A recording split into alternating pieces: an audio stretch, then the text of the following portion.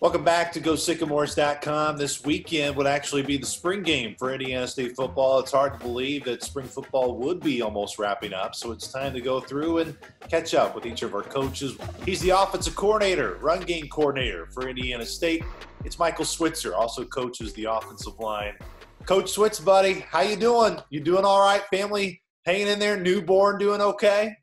Doing great, uh, Luke. I appreciate it. I hope you're doing well, but uh, uh, no, baby boy, uh, Bo, he's doing he's doing well, and um, Taylor's doing doing awesome, being uh, a great mom, and it's been a, a fun time and a and a other otherwise crazy time. So uh, we've taken advantage of being able to be around our uh, our baby, and it's uh, it's been good to be around family and spend that time with family as well.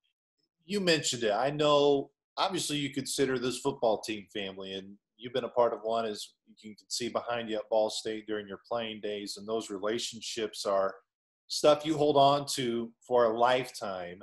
But knowing this is something that no one's really ever gone through, at least it's still alive today.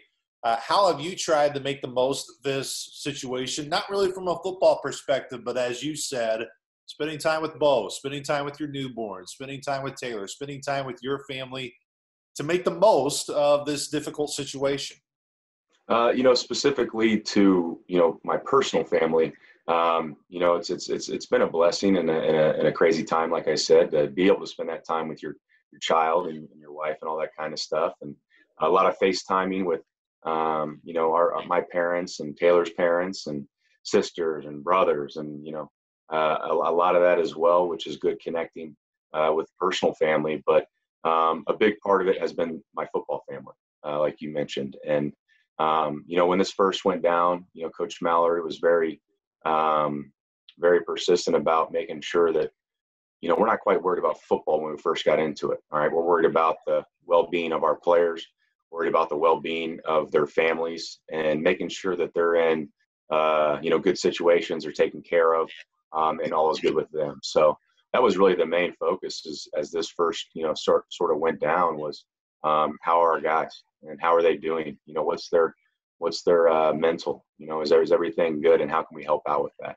And i think that was our prime focus and i think that meant a lot to um, you know the players and, and their families as well. I know um, you know coach mallory has done a fantastic job of communicating not only to our players but their families um, each week and keeping them uh, up to date with anything that's going on as, uh, surrounding Indiana State football. So um, I think any interaction that you can have at this point um, brings some kind of normalcy uh, to the situation. And you know, I can tell you when we get on Zooms and um, you know when the O line gets together, uh, you know everybody's excited to sit there and see each other and talk and uh, getting together as a full offense. You're seeing the faces you haven't seen for a while and and the guys, you know, really enjoyed that. But um, you, you have got to bring some of that to it in terms of coming together, even if it is on a, a Zoom meeting uh, or something like that.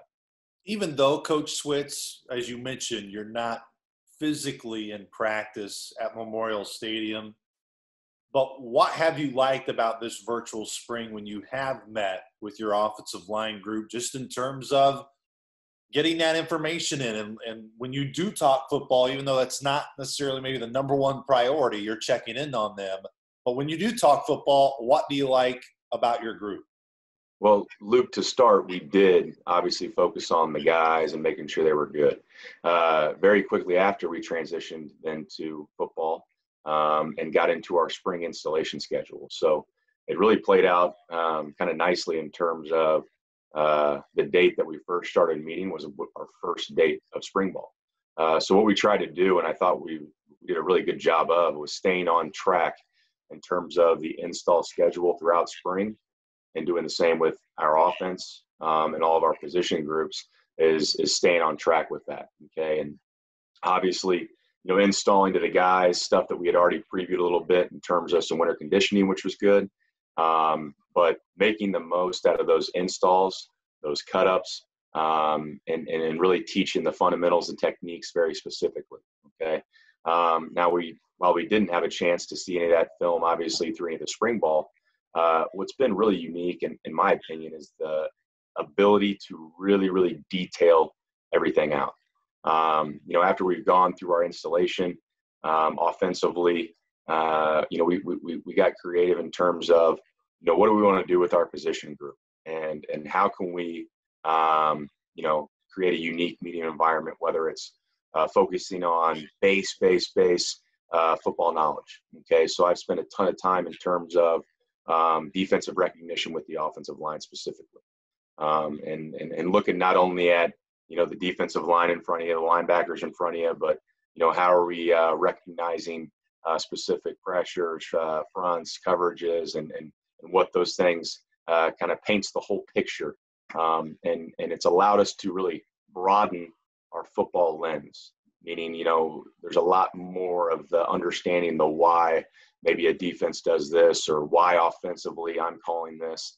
Um, so I, I, think it's been a really unique opportunity to kind of slow it down a little bit and, and look at you know small part small part bigger part and then whole picture um, and, and, and really challenge those guys to, to understand and see it a little bit differently so i've really enjoyed that aspect of it of the guys um, you know, kind of going about it a little bit differently in terms of what we're um, looking at and what we're detailing out. When you look at the big picture for yourself, Coach Switz, where do you feel you've grown the most as a coordinator at Indiana State? And maybe last year, what were some things that you took away from last year that you feel have really helped you in terms of your preparation for this year? You know, uh, I think it's been a, a process, and it is each year. I think you've got to take something out of it, whether it be positive or negative, um, year to year and game to game throughout the entire season. But um, you know, just the continuing continuous comfortability of it, and and, and really getting in a, uh, a groove per se throughout a game, and and um, you know, you can study the opponent um, up and down, and, and, really have an idea what these guys are doing, and, and feel really good about your plan and all that, but you know, once you get to game day, some things can um, obviously adjustments need to be made and all that kind of stuff. And that's where, you know, I, have I've got to take it to the next level in terms of that. And, uh, you know, we experimented last year towards the end of the season, you know, getting into the box and seeing it from a different perspective, uh, which I, which I really enjoyed. Um, I've always called it from the field. Uh, so I, am excited uh, to continue doing that from the box um, with, with that view. And I think that was really, a big help towards the end of the season, and you saw some uh, uh, offensive success a little bit more as as that went on. So, you know, finding the comfortability aspect of it and and working closely with the offensive staff uh, and and and gelling as a group, and um, you know, that's a big part of it is is is making sure that you know we've all got confidence in each other, which we do, and and, and working together very closely as well. So. I think that was a big part of it, just continuing to um, to get the feel for it and, and, and and feel comfortable with the guys um, that are coaching it as well. What do you feel was the biggest difference, just in terms of when that view does change? You know, I think fans at home or whomever they see what's the difference from being field level to press box level. For you, what was that difference like of where you've had one experience of calling plays on the sideline to all of a sudden it go to the press box. Obviously, the view changes, but what more than just the obvious in the room being that the view changes for you? Uh, well, it's very specific coaching the offensive line as well. So when you call it and you're coaching the offensive line, you know, you're, you're looking at five guys. Um, in our case, uh, sometimes six and even seven offensive linemen on the field at once. Um, and, and, and, you've got to see a lot. And, and, and whether some guys may look at it in terms of having a guy look at near field, far field, um, you know, all those kind of things of seeing, hey, where are the breakdowns? You know, I've got to be able to communicate to the offensive line after each drive and say, hey, this is what we got. This is what we need to do. These are the adjustments we need to make. So being able to see that from the sideline uh, can be challenging at times. And, and, and, obviously having that next play call ready uh, is, is a big deal as well. So sometimes you're, you're, you're up and down looking at the call sheet and, and seeing that from the sideline can be challenging. Um, now, where I did like it is obviously being on the field with the offensive line, going through the adjustments, going through the drives, um, going through the looks. That's where I think is is is, is imperative um, throughout a game. But you know, when you move up to the box and, and, you're seeing it from a whole new perspective, you see it all. Um, you know, it's a little bit more of a controlled environment. Um, you know, it's not as um, uh, hectic uh, up in the box as it, as it is on the sidelines with a lot of people. Um, so it's a little bit calmer environment, which um, you know I thought was good. But just being able to see it all, and specifically the defense. I mean, you know everything you're doing offensively is to attack the defense, and and now you get a, a clean picture uh, and, and, a, and, a, much better view uh, of understanding what's going on. Um, and, and, and that allowed me to then communicate to you know the rest of our coaching staff or through another coach to uh, the offensive line down the sideline, whatever it may be. Being able to see that that full field, um, you know, really really changed it for me, and, and I think that was something that was really important. So that's kind of what goes through my head as you as you look at it from the from the outside looking in is is being able to see uh, all of it comparable to having to you know kind of be field view and, and, and focus in on one position and then see it all as well so so it wasn't harder calling plays when your booth was next to mine and you could hear me hooting and hollering during a game? No, you brought the energy. You got me going. I said I got to get this guy juiced up. So uh, I liked hearing your voice up there. Uh, Coach Switz last year, of course, heading into the year, you know, one of the biggest points or one of the biggest reasons of optimism was how much experience you had coming up on the offensive line. Obviously, this year that experience has to be replaced. Now, you do get Big Tuna coming back from injury. But other than just Big Tuna coming back, what do you think are going to be some key areas for your offensive line? And maybe what you've liked from the guys that are coming back, despite you know you're going to have to replace a lot of game time experience?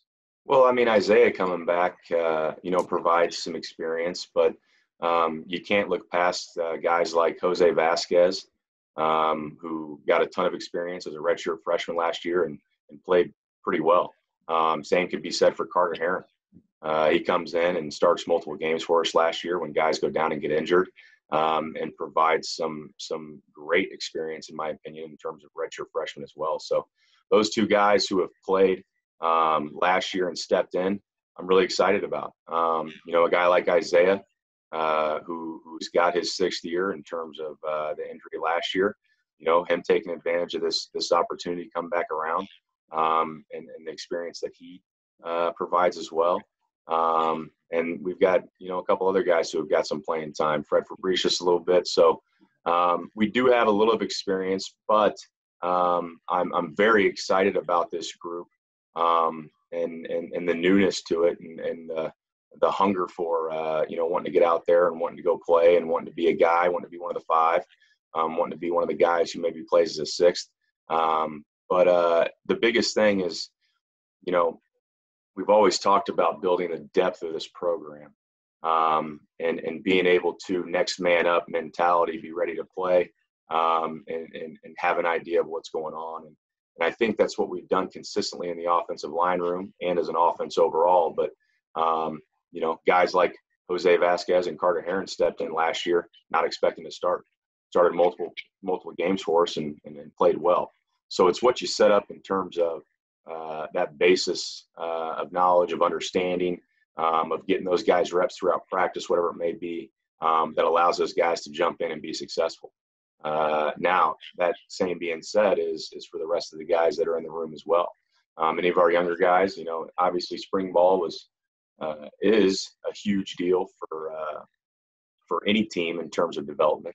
And when you lose that, you know that kind of hurts you a little bit. But everybody's going through it, so um, it's going to be a, a process that needs to be sped up when we get back, um, whenever that is. So uh, looking at the you know position group, um, you know there's going to be a lot of moving parts early on for sure, and and uh, you know some questions will be answered early on. And I'm going to put the pressure on the guys in terms of uh, this is different. You know, we don't have spring ball to uh, sit there and prove yourself here, prove yourself there. It's going to be it's going to be fast, um, fast on us, and and, and the guys got to be ready and understand that once we get back uh, as a group, whenever that is. So. One of the things that really stood out to me last year, Coach Switz, is when I caught up with you at season's end, and we talked about how different the offense looked from week one to the last week of the season. It was a total 180, and the packages you used and the players you utilized and, and maybe not so much players you utilized just different packages that you would use. But you said luke that's the goal of any season. You know even if you're having maybe more success early on you want to continue to evolve as the year goes along. So for you guys after last year and now into this off season, again, even though no on field time, where would you like to see this offense evolve, Coach Switz, into this year and utilize the weapons that you still have? I mean, that's really it, Luke. Uh, you know, and talk about utilizing your weapons, utilizing the players.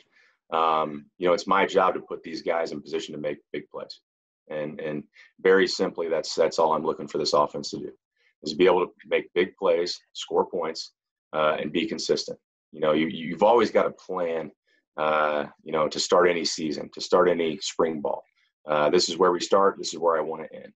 Um, and as you look at last year in terms of where we started and how some things changed, like I said, that's part of football. And and of course, you'd like to be um, you know, have some consistency throughout the season, and this is what you do, and this is how you do it, and uh, and have success in doing so. But um, depending how that season goes, you may have to uh, switch it up. You may have to implement some new schemes, some new uh, packages, some new um, things that are, are, are helping you uh, mix it up.